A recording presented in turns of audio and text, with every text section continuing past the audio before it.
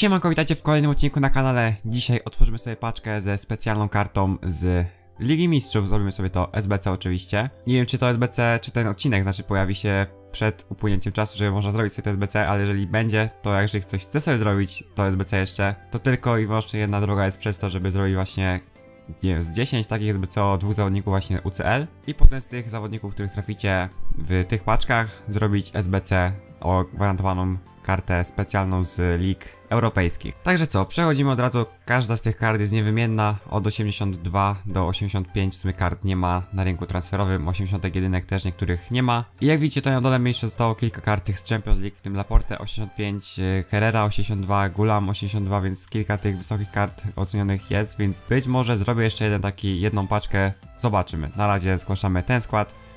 I jeszcze zanim otworzymy tą paczkę, przejdziemy na listę transferową, bo tam mam wam do pokazania to, co miałem wam pokazać jeszcze dwa dni temu. A więc te karty, które kupiłem przed wyjściem tego SBC, wszystkie kupowałem około 5, 5,5 do 6 tysięcy maksymalnie, sprzedawałem jak widzicie po 12, Kramericia po 14 na przykład. Więc po 6-7 tysięcy na jednej karcie zarobiłem strasznie, strasznie żałuję, że nie zrobiłem, nie, nie kupiłem więcej tych kart. No ale trudno, zawsze to jest i tak jakieś 200, może 250 tysięcy profitu, bo już kilka kart oczywiście sprzedałem, kilka kart użyłem wcześniej do SBC po raz pierwszy, gdy robiłem. I mam jeszcze do odebrania kartę specjalną 86 overalla, którą wam naprawdę polecam zrobić, bo jest to bardzo łatwe, zrobiłem to w jeden mecz, na zawodowcu trzeba zagrać i macie 86 kartę, w składbacy oczywiście, i macie kartę 86, którą możecie sobie użyć do SBC, czy to nie wiem, jako zmiennika, bo naprawdę statystyki ma w miarę ok.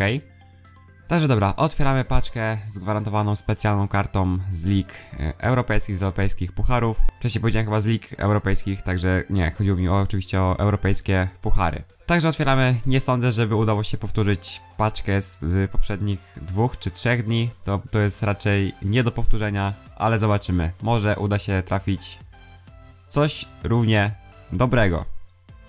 Co to będzie? Jaka to będzie narodowość? Jest to zwykła karta jest to Chorwacja, SP, Rakitic, Rakitic 88, jest to karta chyba, niestety nie jest to karta live, więc ten overall mu zostanie. Jest to nie najgorszy traf, ale wiadomo, mogło być trochę lepiej, ale narzekać nie będę, bo mogło być naprawdę też bardzo, dużo, dużo gorzej.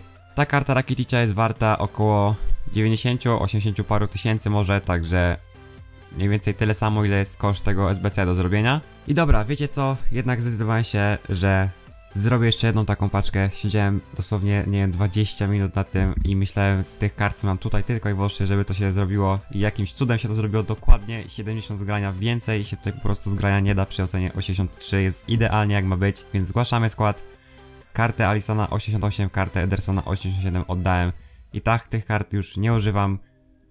I używać na pewno nie będę, bo za chwilkę będą tocy, więc naprawdę końców mało nie mam, więc żałować też nie będę, są to karty, mówię, niewymienne, więc ostatnia paczka w dzisiejszym odcinku. Mam nadzieję, że nie pożałuję tego, co tu będzie. Mam nadzieję.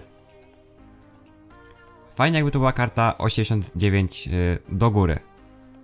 I jest to Eden Jacko, najgorsza, jedna z najgorszych kart, jaką można trafić.